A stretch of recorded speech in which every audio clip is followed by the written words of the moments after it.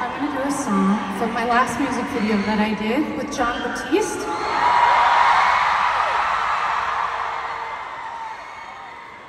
I don't know, these 10 minute videos, I just keep making them and just doing them to our favorite songs. B might even sing along with.